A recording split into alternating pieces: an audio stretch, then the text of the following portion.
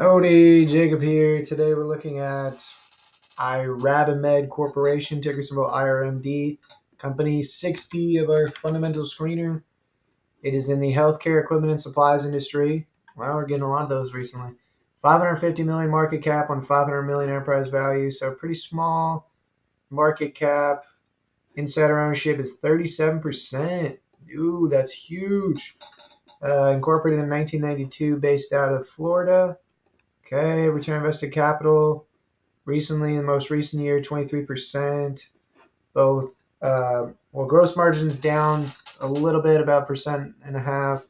Operating margin up 11%. Okay.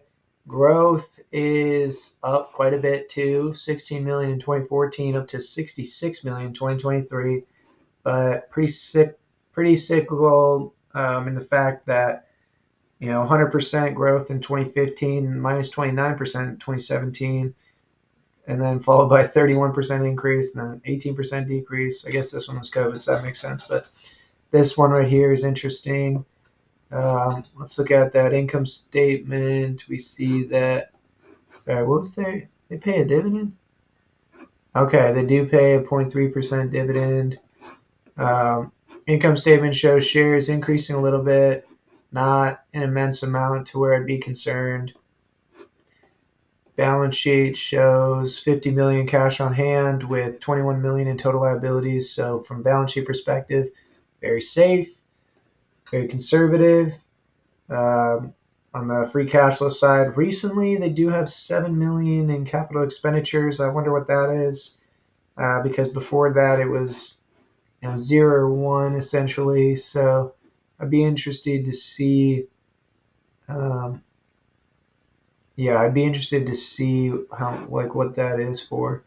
Um, and then this their dividends paying out 13 million in aggregate, that's that's a large amount. That is a large amount of their dividend being paid out. So that's interesting to see. Let's start making some assumptions here. I'd say on the revenue growth side, I mean, I don't know if that 30, 27, 20 can really hold. What do they do? Develop, manufacture, market, distribute magnetic resonance imaging. Oh, just made that sound so cool. MRI compatible medical devices with IV infusion pump systems. Okay.